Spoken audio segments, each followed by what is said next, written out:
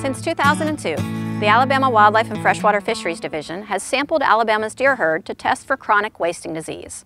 Hunter harvested deer has always been an essential source for these samples.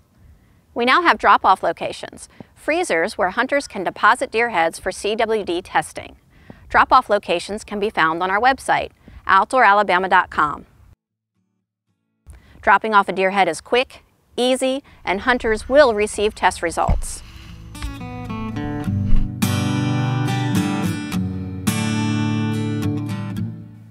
First, remove the head from the deer carcass, leaving 4 to 6 inches of neck attached. If it's a buck, please remove the antlers, either at the base or with the entire skull plate attached. Put the deer head in one of the provided plastic bags and tie it closed. Complete all sections of the biological sample tag.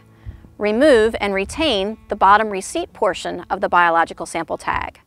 Use the provided zip ties to attach the upper portion of the biological sample tag to the plastic bag.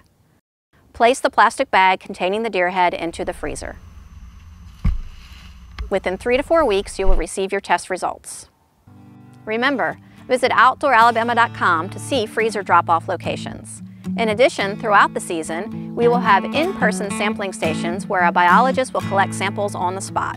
This information will also be on OutdoorAlabama.com. Thank you, hunters, for supporting our CWD sampling efforts, and have a great season.